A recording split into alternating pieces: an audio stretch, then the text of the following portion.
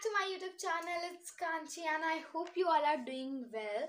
So, आज की जो वीडियो है, वो है होममेड लिप बाम जो आपके लिप्स को रोजी पिंक इफ़ेक्ट देगा एंड वो मॉइस्चराइज बहुत अच्छे से करने वाला है बिकॉज़ इसमें होम घर के इंग्रेडिएंट है, जो ऑफ़ कोर्स बाहर के केमिकल वाले आपके लिप्स उससे क्या कहते हैं टिंटेड लिप बाम से बहुत ही ज़्यादा बेटर रहेगा, जो आपके लिप्स को ख़राब भी नहीं करेगा so I think I should start my video okay let's go जो जो हम लोग को फ़र्स्ट चीज़ चाहिए वो है वैसलिन आपको इसमें टोटल थ्री इंग्रेडिएंट्स लगेंगे उसमें से फ़र्स्ट इंग्रेडिएंट है वैसलिन मैं फ़ोटो यहाँ दे दूँगी। वैसलिन आपके लिप्स को मॉइस्चराइज करने में बहुत ही ज़्यादा हेल्प करता है। वैसलिन पेट्रोलियम जेली होता है जिसमें केमिकल्स कम रहते हैं प्रिजर्वेटिव रहता है जो कि काफ़ी अच्छा रहता है। एंड किसी भी क्रीम से या फिर आप कोई भी मॉइस्चराइज़र अपने लिप्स पे लगा लेते हो तो लिप्स चैप होने लगते हैं सो आप उसको यूज़ कर सकते हो। एंड जो हम लोग का सेकेंड इंग्रेडिएंट है, वो है कोकोनट ऑयल कोकोनट ऑयल आपके लिप्स में शाइन देने में बहुत ही ज़्यादा हेल्प करेगा एंड वो मॉइस्चराइजर एज तो करता ही करता है।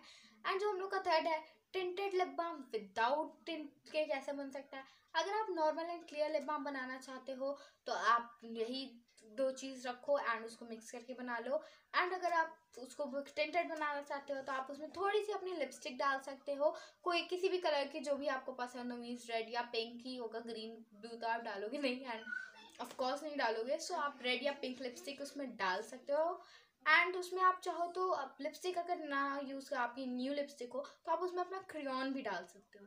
एंड उसके बाद आपको एक कांच के बाउल में उसको लेना है। एंड एक गैस पे जाके भगोना चढ़ाना है, उसमें पानी डालना है। वो जो कांच का बाउल है, कांच का ही लीजिएगा बिकॉज़ अगर आप स्टील का लेते हो तो वो चिपकने लगेगा। आप प्लीज़ ग्लास का लीजिएगा। ग्लास बोल लेके आपको उसमें डालना है। एंड उसको हीट होने देना है एंड उसको स्टर करना है फिर वो मेल्ट हो जाएगा एंड जब वो मेल्ट हो जाएगा तब आपको उसको निकालना है एक कंटेनर में डालना है एंड जब वो ठंडा हो जाएगा तब आप उसको यूज़ कर सकते हो गर्म मत लगा लेना बहुत गर्म रहता है तो वो बहुत ज़्यादा गर्म हो जाएगा okay? So I hope this video helped you and if it did, so don't forget to like my video and subscribe my channel. Bye bye, we will meet.